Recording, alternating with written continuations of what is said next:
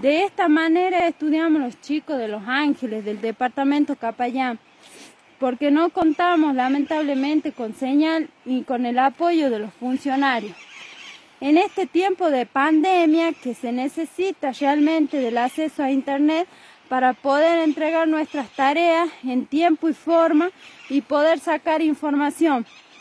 Como verán, así tenemos que estar en los puntos que contamos con Wi-Fi a la interperie con 9, con 9 grados bajo cero. Una vergüenza realmente.